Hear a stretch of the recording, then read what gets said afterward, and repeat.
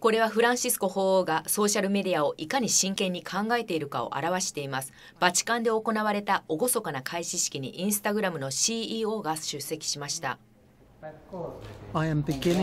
神の慈悲と優しさの道を皆さんと共に歩く新たな旅を始めるところです。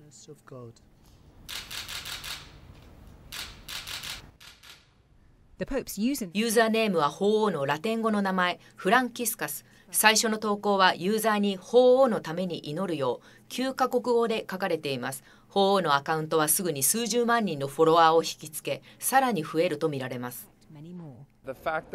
インスタグラムのケビン・シストロム最高経営責任者です法王のフォロワーが急速に増えているという事実から法王が世界中にいる4億人のインスタグラムのユーザー一人一人に語りかける基盤を持っていることがわかります。また映像は言葉や文化を超えるため法王が一人一人に等しく語りかけられることを意味します。とても興奮します。サンピエトル広場にいる観光客からも同様の意見が聞かれました。法王は人々や信者、特に信仰を失ったかもしれないすべての若い信者のそばに寄り添う必要があるという意見です。ですからこれは素晴らしい選択だと思います。もし法王のメッセージがみんなが一番一般的に使っている伝達手段のソーシャルメディアを使って発信されるならいいと思います。